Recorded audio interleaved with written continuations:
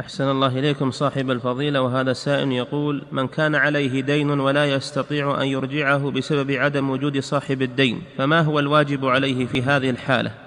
ورثته إذا مات صاحب الدين فله ورثة يؤديه الورثته نعم.